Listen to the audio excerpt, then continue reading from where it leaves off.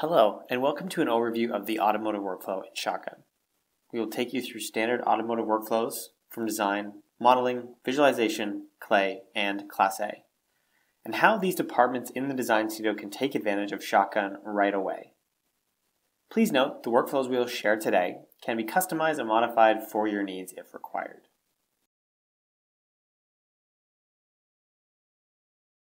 As a designer, the first thing I will do is open the Shotgun desktop application. Inside here, I can see all the projects I am assigned to work on.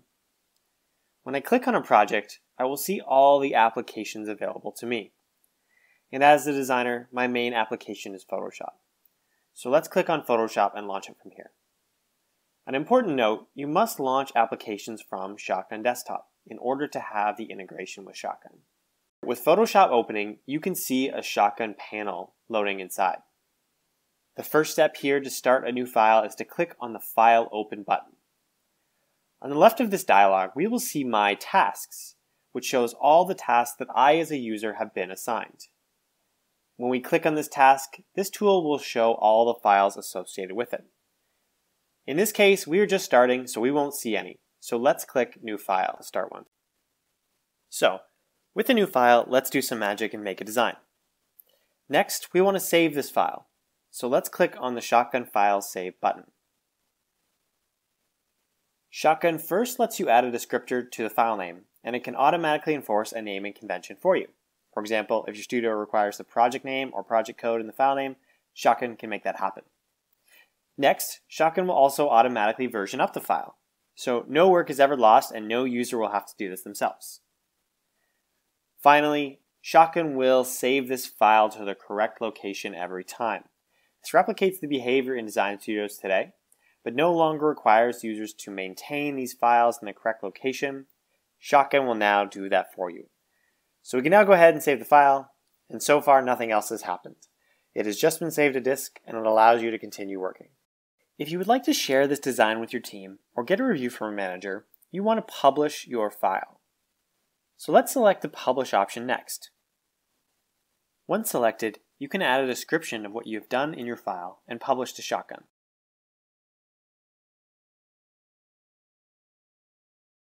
As a designer, I may want to create a couple of different designs to share with my manager. I can quickly go through and generate two more design ideas. And in this case, we will create a new file, save, and publish. And all this design material will be managed by Shotgun. The Manager view in Shotgun will be accessed via the web browser. This view will show all the different designs or versions published in a visual way. As a manager, I can quickly see the work being complete, and if I need to, I can jump in and start a review one by one. If your studio has reoccurring reviews, you can also use a playlist, as shown here. In this case, we have told Shotgun to automatically add the designs to a dailies playlist that is a collection of designs done today. If we click on the playlist, we can review all the work right from here, with any notes or comments being sent directly back to the original designer. Before we show how the review tools work, let's add a design from a different tool first.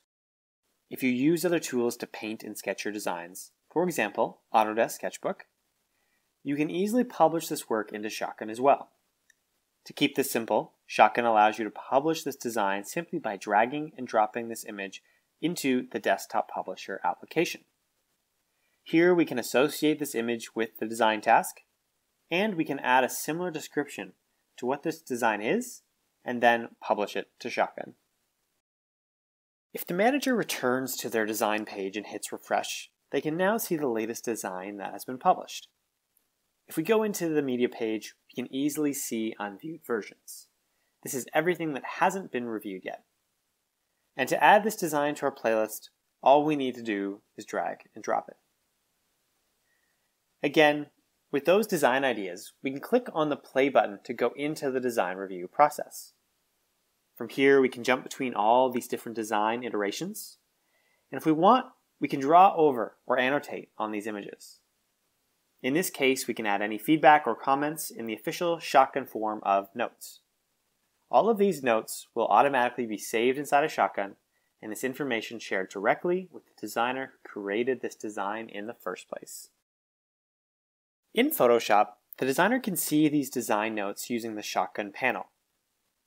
If we open the shotgun panel, this is going to give us insights of everything being done on the project, asset, or task we are working on.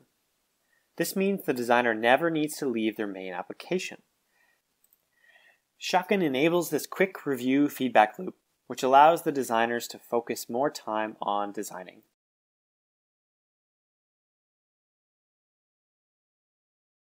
As a modeler, I will start working in the same way a designer would work. In this case, my main application is Alias, so let's launch Alias from the Shotgun desktop application. With Alias open, we can see a Shotgun menu along the top bar. We start every scene by clicking on the File Open button.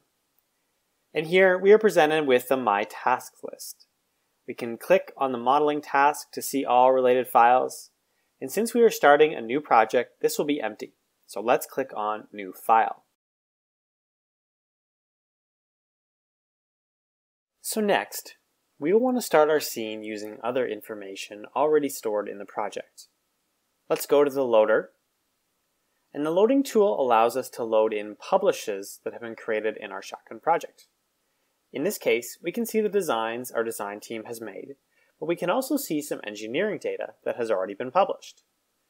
If we look into the details, we can see our manager has loaded this package in as a baseline for design. From here, we are able to load this right into our alias scene or into an alias stage. In this instance, though, let's just start with the 2D design. So let's import this design into the scene.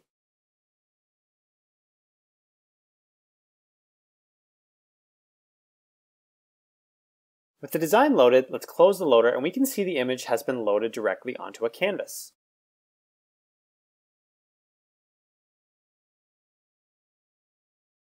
Fast forward with some time gone by and we have a solid first pass of the model.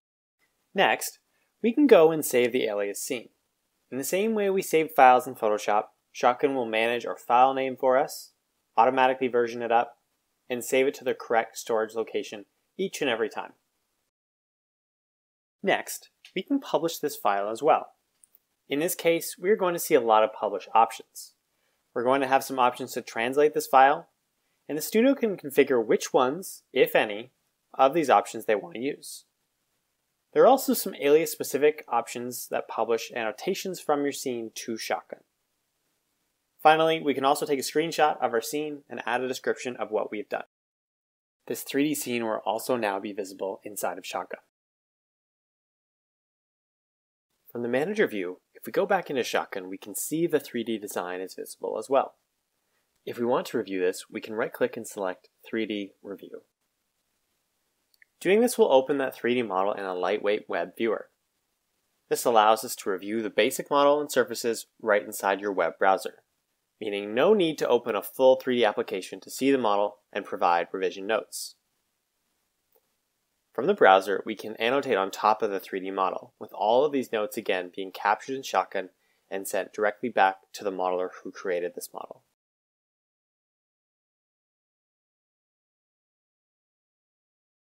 Next, let's talk about visualization workflows for Shotgun.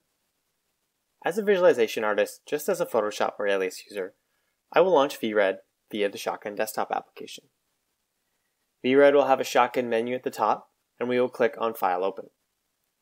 We can click on our visualization task and see that no files are available yet, so again, let's start with a new file. With a blank scene, we will want to start with the in-progress model, so let's load in that latest model. Published files are automatically sorted by the asset type. So we can go and find the latest alias file and import it into our VRED scene. Shotgun has helped us load the latest alias model directly into our scene, which means we didn't need to manually track it down or ask our colleagues which version was the latest. Shotgun did this for us automatically. So now, as a VRED user, I can go in and start applying materials. The model is just a first pass, but we will want to apply some basic shaders to start some progress. Now, with some shaders added, we can go in and render this scene. Shotgun is going to set the render path for us automatically, so we don't need to worry about where we will save this render.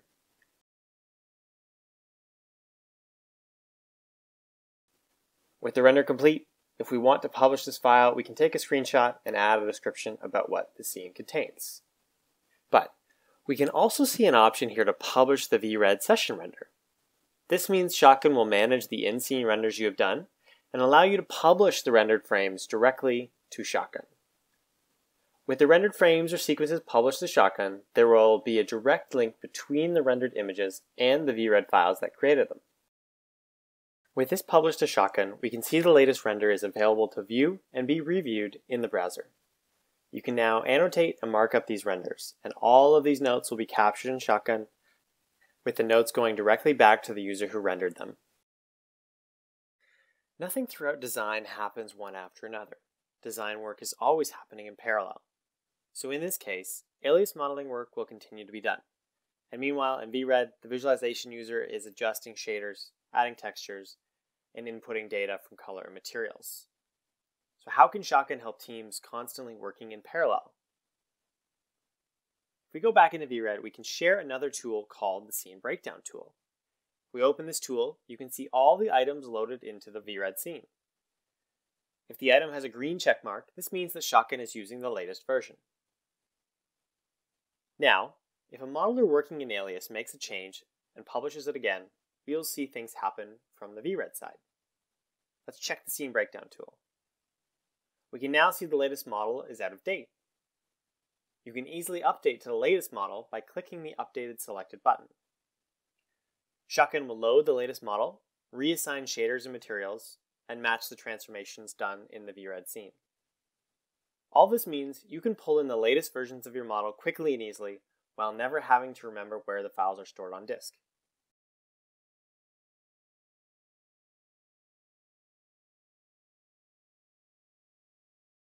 Shotgun can also be leveraged by the Clay or physical departments. Each user in this team will have their own login, where they can see a department-specific homepage. As an example, a Clay user may see designs that are approved to be milled and allow for the team to easily grab those files and begin working. They may also see the schedule of the design department to make sure everything is happening on time, and if there are any concerns, the team can see them. As a Clay user, I can also take the output from any scans or photos of the Clay model and publish them into Shotgun. Here I have some files that I can publish directly into Shotgun, connecting to the Clay task and adding a description for this publish.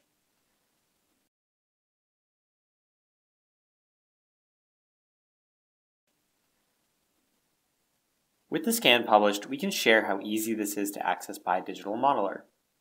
Back in Alias, if we use the load tool, we can see the latest clay scan. We can import the scan into the scene, or even load it into a new Alias stage, separating it from the model. The modeler can now go in and make modeling changes against the scan data.